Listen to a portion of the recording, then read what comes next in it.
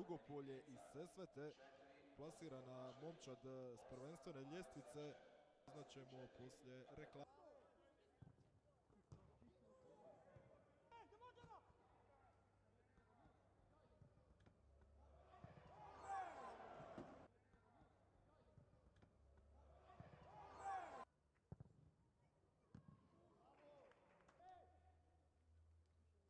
Evo bolje lopte pluma u sredinu. I evo prilike, evo gola!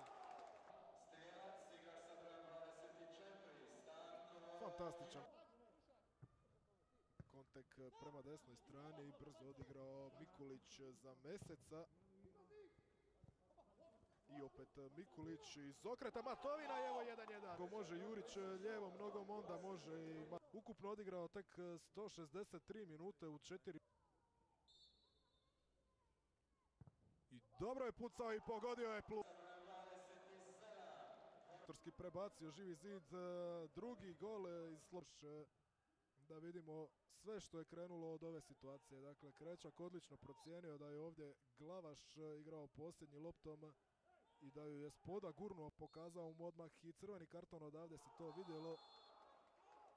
I onda poslije svega toga dođe 11 terac za Aralicu uz koji vas ostavljamo bez nekog završnog komentara. Poštovani gledatelji, hvala na pozornosti. Ostanite i dalje uz Hrvatsku nogometnu televiziju.